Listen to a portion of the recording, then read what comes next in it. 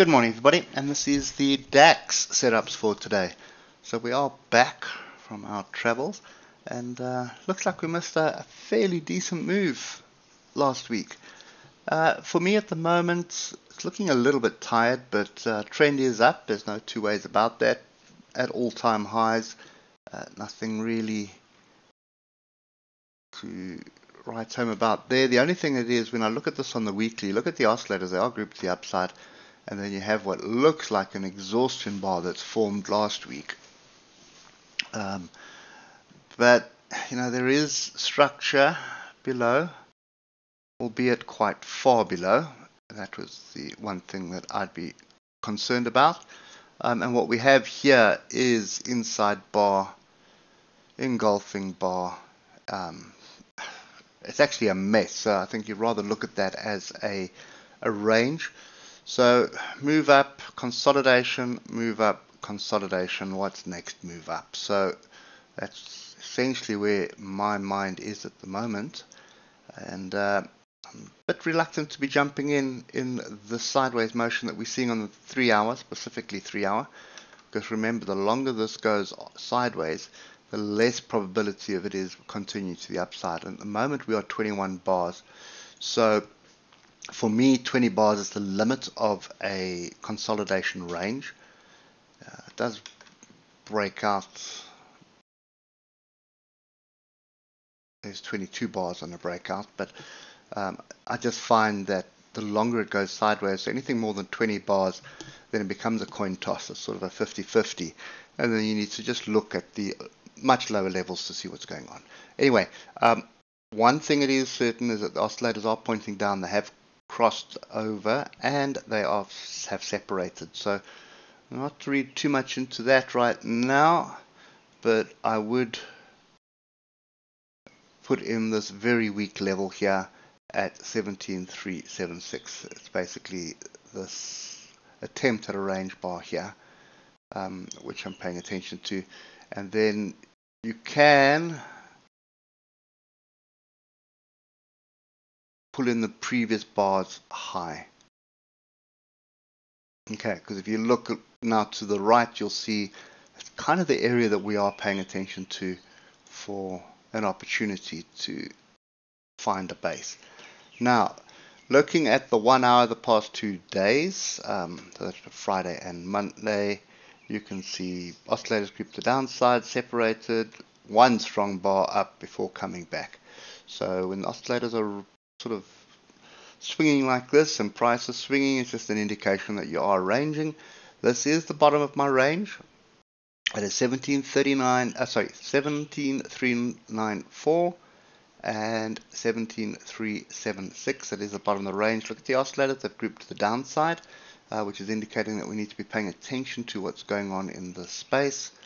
Uh, I'm not entirely convinced on the hour of anything right there and drilling down to the 15 minute there was opportunities for a move to the upside. It's basically I'll put this level in so you can see it. Uh, see the range bar that was formed early in the trading session uh, pre-market basically. But there's your tweezer bottom um, what's that plus 5, 6 half plus 7. So that was before the market opened. Um, but that was definitely your indication yesterday that there was something to the upside. Kind of fizzled out. And uh, the minute you saw this gap up and there's still a gap below, you knew that it was going to fizzle out.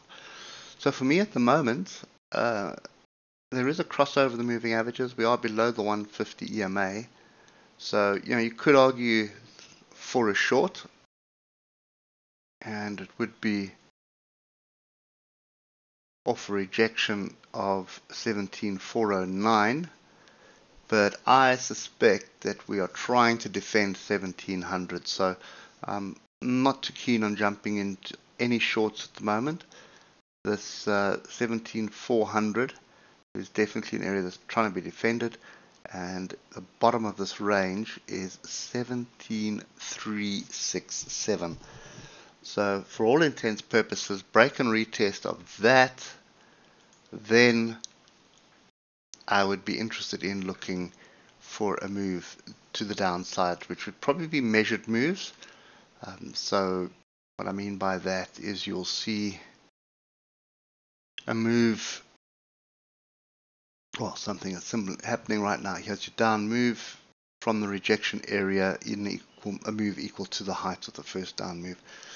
So, but I'm not convinced. So I'm really not convinced that this is a top, and I'm also not convinced that we're going to drop.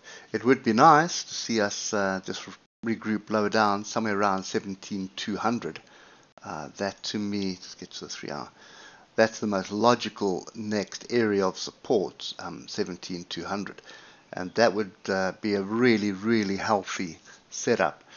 But stranger things have happened, so I wouldn't write too much into that. This could be an inside bar attempt here at the structure where we are.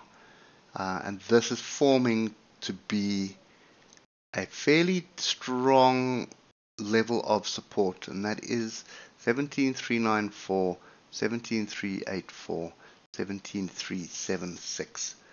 So that's um, kind of my view. I think I'm going to be sitting on on the sides until I see something decent, which is either going to be a break of this bigger range to the downside or a break of the range to the upside. But um, now where we are now, I'm not 100% sure I want to be chasing anything. There is an outside chance here at 17409, um, you know, just for a a rejection, but I think you're going to be held up by these three levels to downside. Drop below these three levels to downside, come back and reject them, then there is definitely a short on offer. And